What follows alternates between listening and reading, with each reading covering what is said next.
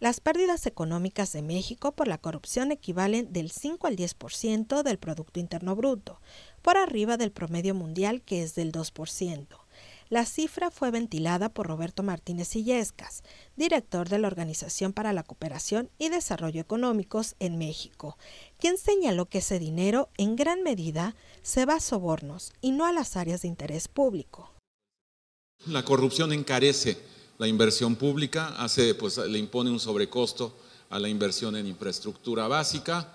Em, y por supuesto hay todavía varios otros costos sobre las empresas, lo cual constituye una muy importante, como le llamamos, externalidad negativa sobre la actividad económica y sobre el emprendimiento.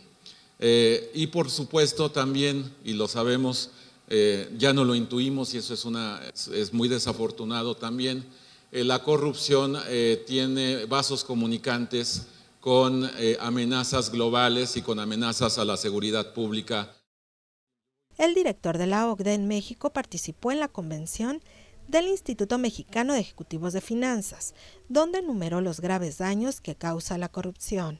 Indicó que genera merma en la confianza en los mercados e instituciones públicas, bajos ingresos para proveer servicios, uso ineficiente de recursos y erosiona la capacidad de recaudar impuestos para derivar en tentaciones inflacionarias.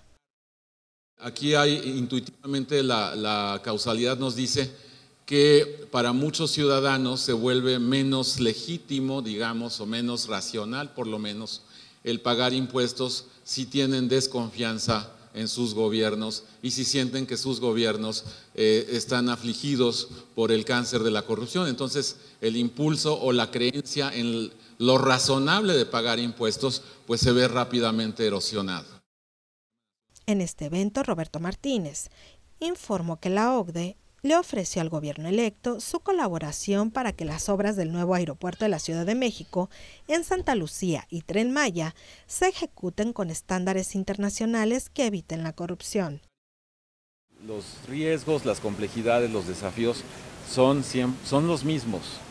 Son los compromisos de establecer un marco de eh, contrataciones públicas con apego a buenas prácticas internacionales, como se hizo con el proyecto anterior, eh, eh, son muy, yo creo que son extrapolables estas lecciones. Perdón. Este, también son extrapolables las lecciones en materia de buen gobierno corporativo, es decir, de las capacidades del equipo eh, técnico gerencial que esté a cargo del proyecto. Con imágenes de Gibran Albín, señal informativa Georgina García Solís.